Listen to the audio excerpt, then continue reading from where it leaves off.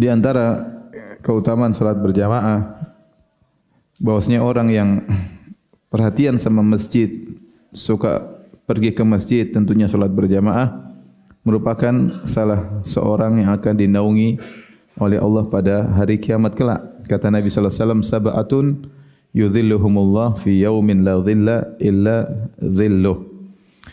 Tujuh golongan yang Allah naungi pada hari kiamat yang tidak ada naungan kecuali naungan Allah. Tatkala matahari jaraknya satu mil sangat panas di antara tujuh golongan tersebut kata Nabi sallallahu alaihi wasallam rajulun qalbuhu muallakun bil masajid. Itu seorang yang hatinya rindu untuk ke masjid.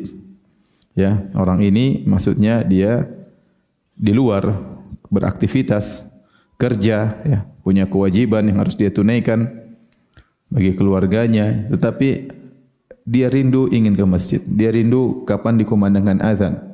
Dia rindu untuk melangkahkan kakinya menuju masjid. Ya.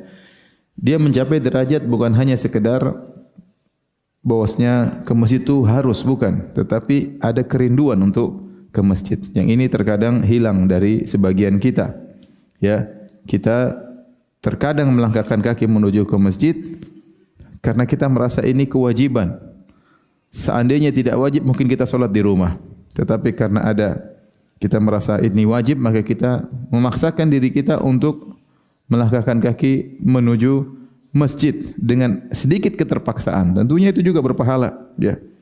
Makanya beban syariat disebut dengan taklif, pembebanan. Seorang memaksakan dirinya untuk melaksanakan kewajiban-kewajiban yang Allah syariatkan.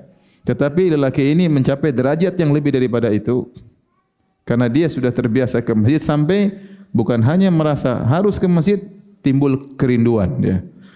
Rajulun qalbuhu mu'allakun bil masajid hatinya rindu untuk ke masjid ya dia rindu untuk mendengar azan dikumandangkan dan dia rindu segera melangkahkan kaki menuju ke masjid dan demikian kalau orang sudah terbiasa solat di masjid dia solat di rumah seakan-akan tidak merasa sedang solat ya. Kenapa? Karena sudah terbiasa solat di masjid. Ada sesuatu yang benar-benar dia rasa kehilangan jika dia tidak solat di masjid.